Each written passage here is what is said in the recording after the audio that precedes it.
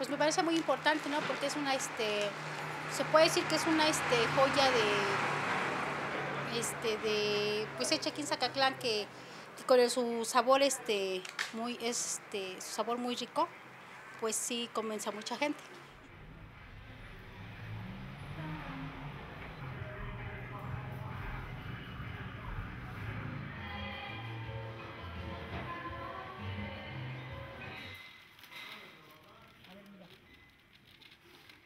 Ya en México desde, eh, vamos, desde 1920, 1900, entre 1920 y en 1930, llegan algunos eh, eh, empresarios españoles a poner, a poner fábricas de sidra pequeñas, porque más bien la sidra para Navidad y la sidra cuando empezó a tener auge venía de España directamente.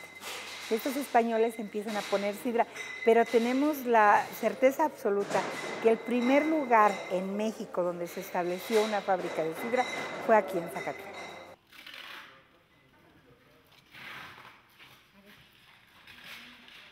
A ver aquí con estas niñas de la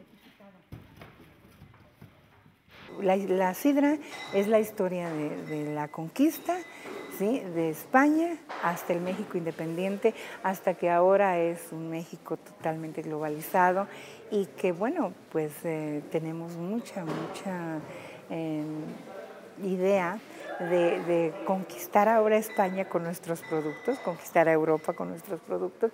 Bueno, es una de las ideas es que llevemos sidra a España como algo un poquito paradójico, ¿no? Como que volvemos con nuestros productos que ellos nos enseñaron.